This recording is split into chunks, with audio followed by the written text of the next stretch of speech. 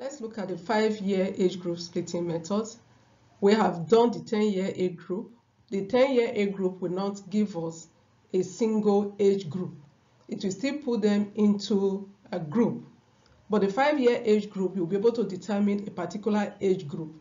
For example, you may want to look at the age group of six and know the number of six-year-old age that are in a particular group.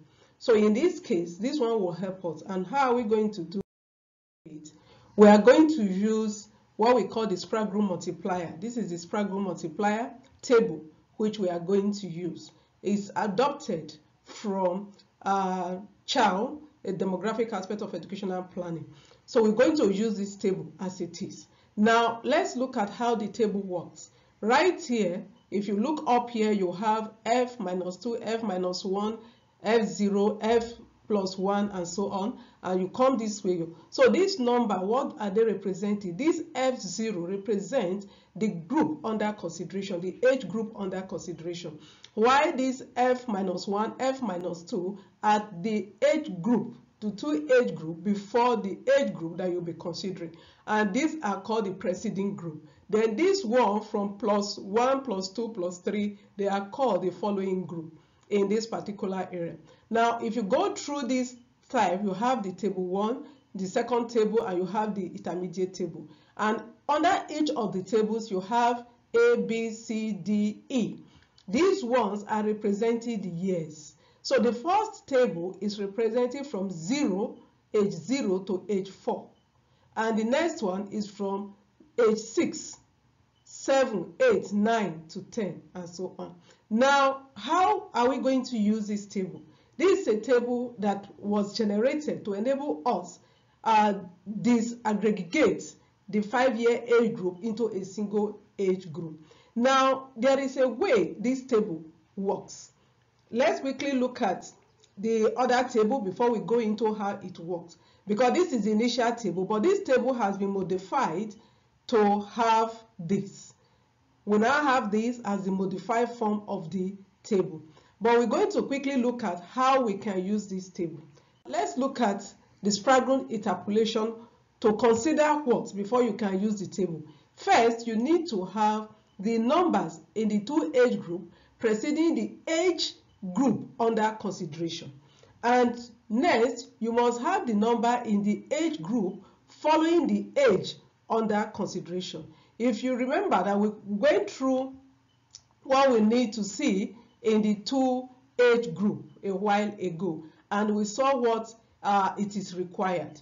Now, you come over here, the next thing you need to consider, let's say, for example, you have ages 0 to 4, 5 to 9, 10 to 14, 15 to 19, 20 to 24. These are the age group. Now, if you have to consider the age group, the consideration has to be given to 10 to 14 because that is the age group that is under consideration. This is the age group 10 to 14. Let's assume, it's an assumption, this is the age group we are considering. And from here, probably you want to bring out the total number of students that are age 11 or 12 because from 10 to 14 you have age 10 you have age 11 you have age 12 you have age 13 you have age 14 but this time you are not interested in all of them pulled together. You're interested in a particular age group. So let's assume the interest you have in the particular age group the age group is 10 you look out for if it is 11 if it is 12 or 13 and so on. But having said so now there are other things you are going to consider right here if you go up again with what we have just been told, consider the preceding age group. So if you look at 0 to 4, 5 to 9, there are two groups that are coming before 10 to 14. So when you want to work with Sprague multiplier, you consider these two groups. And at the same time, you consider the two following groups. Here you have 15 to 19 and 20 to 24. These are the groups you must consider when you want to determine a single age group from what you are working on. Then this may not apply, note, this may not apply to age 0 to 4 and from age 5 to 9. Reason being that if you look at 0 to 4, 0 is the base. No other work can come before 0. So therefore, we don't have anything that that 0 to 4 is going to fall back to. And if you look at 5 to 9, instead of having two backwards, you have just only one, 0 to 4. The same thing is applicable when you are working with ages 75 to 79 and 80 and above. So you discover that you may not have the two that you were told to consider. So what do you do in this instance? So if you are working with age 0 to 4 age group, use the number in the three following age groups. If you go back to that table, you discover that in the group, you have only you have three sections up to F plus 3. That means you're going to consider all the three of that section. But if you are doing having something that gives you the two before and two after, you may not need to consider all the three. Then the same thing is applicable if you are to consider 5 to 9, you cannot consider only one that is preceding it first. Let's go back to this first one, 0 to 4. If you are working on 0 to 4, it means you have to consider 0 to 4, 5 to 9, 10 to 14, 15 to 19. This is what you will consider. But for 5 to 9 age, you will consider 0 to 4 because we have a particular group that is preceding it. So we consider that 0 to 4. Then you consider 5 to 9, 10 to 14, 15 to 19.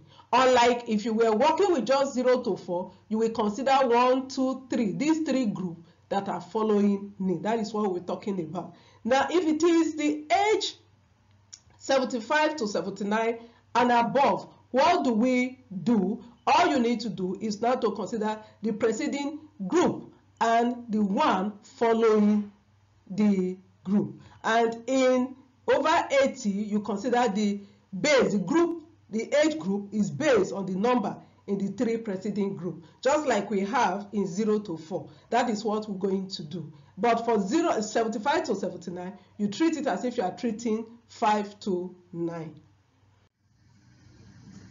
Now let's look at an example that is given here.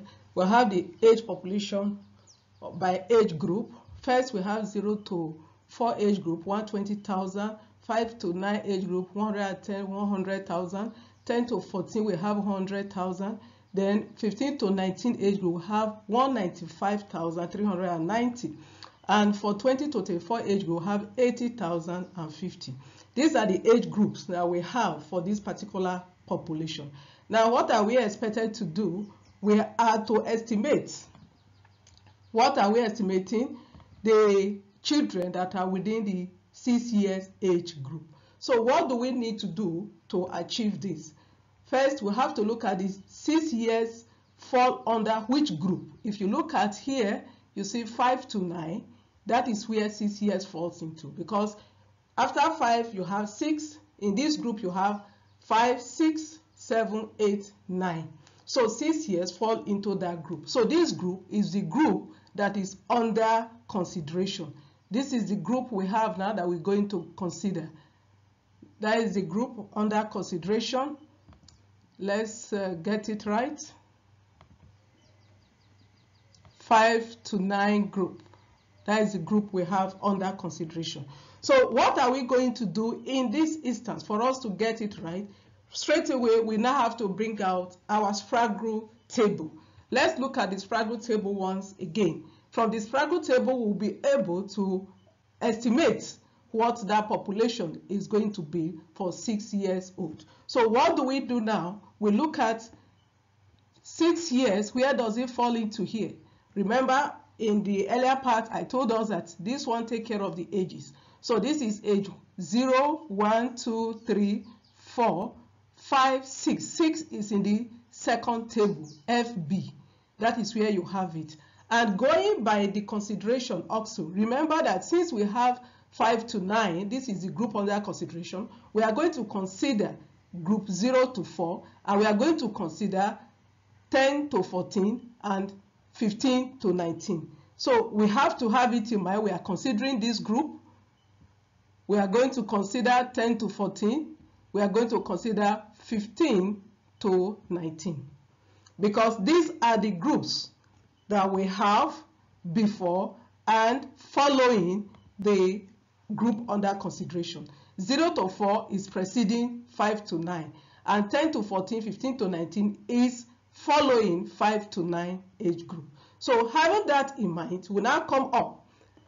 For our 0 to 4, where does it now fall into?